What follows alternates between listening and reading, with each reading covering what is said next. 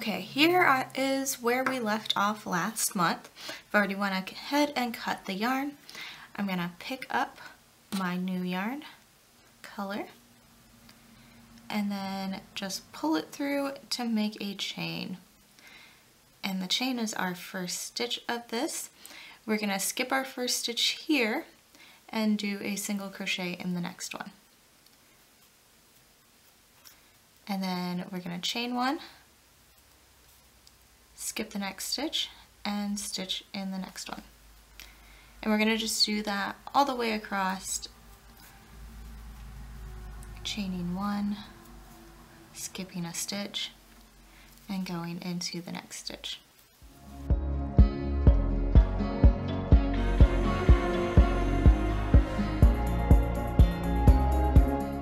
So here we are at the end of our first row and we've created these single crochets and chain one spaces. Now the next row we're going to be working into those chain one spaces. So we're going to chain three, one, two, three, and we're gonna turn our work. Now we're gonna do our bobbles and we're doing bobbles into each of the chain one spaces. You could use this bobble stitch in other projects where you're only putting bobbles where you want them, but we're just practicing bobbles and we're going to do them in every stitch here. So you're going to yarn over like you're going to double crochet and then you find that chain one space, you go into it, you pull up your yarn around your hook and pull it through that space. And continuing on like a double crochet, we're going to yarn over and pull through the first two. Now here's where we veer from our double crochet. We're going to continue making five of them. So we're gonna double crochet five together to make a bobble. So we're yarning over again, going back into that space, and then grabbing more yarn, pulling it through the space, yarning over, and pulling through just two of them. So now we have three on our hook. We're gonna do it again. We're gonna keep doing that until we reach six loops on our hook.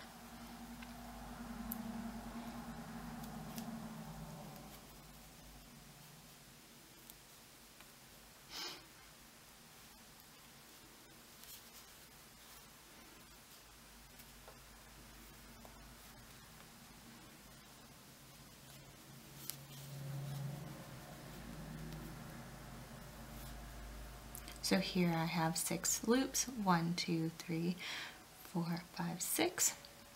And we're going to yarn over and pull through all six of those.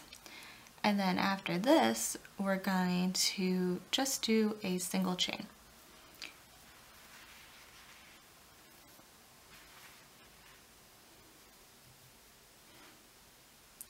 Now we're going to find our next chain one space and do the same thing into that one.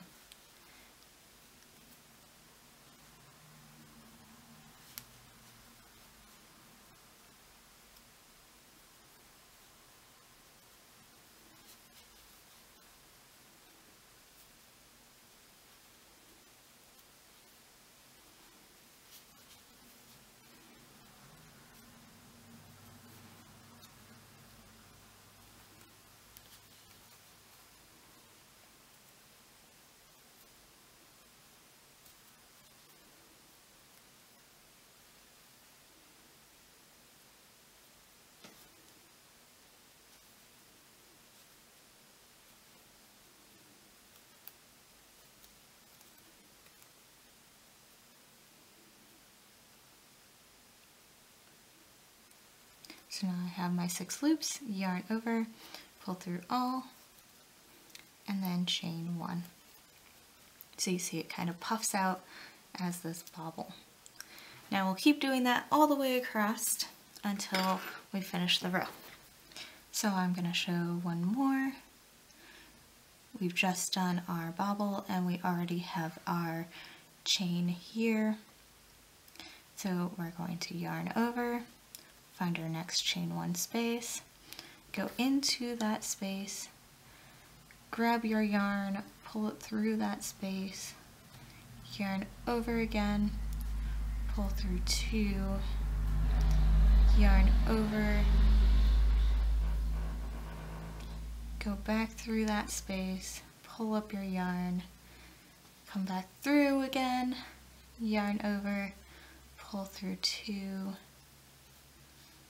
yarn over, go through the same space again, pull through, yarn over, pull through two loops, so we've got four, yarn over again, go through the same space, grab your yarn and pull it through, yarn over, pull through two, now we have five, yarn over, and last time into the space, grab our yarn and pull it back through the space, yarn over, pull through two, we've got six, one final yarn over, and pull through all six, and then do a single chain right there.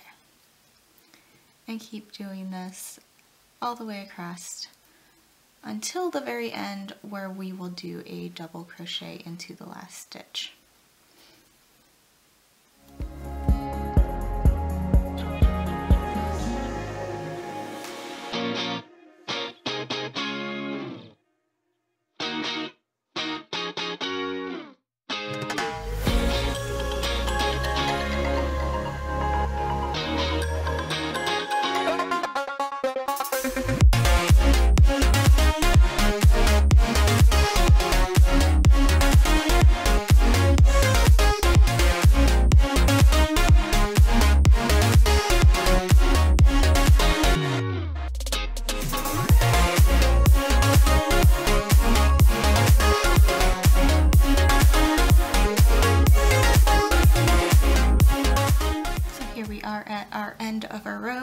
And there's just a single crochet here at the end that I can do a double crochet into.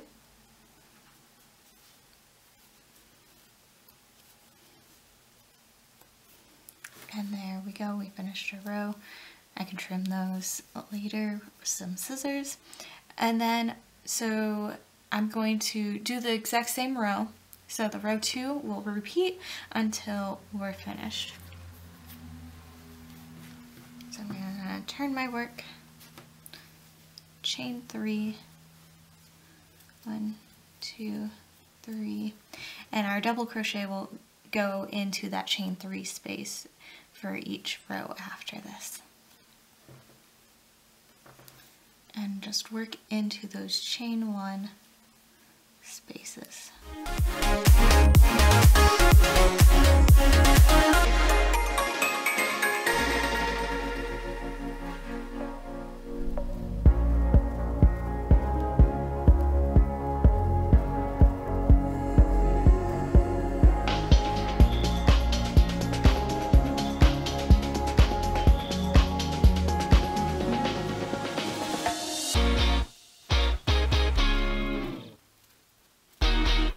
So now I've gotten to the end of my chain one spaces and I'm just going to double crochet into that last beginning chain. So there we go. We've got our first two rows of bobbles. You'll keep repeating this row two until you've got six inches of your crocheted fabric. Um, and you should have the same number of bobbles in each row. I have 12 um, if you don't have that number, something must have went wrong and you'll want to go back and kind of check what you've done. So if you have any questions, the contact information will be in the description. Good luck!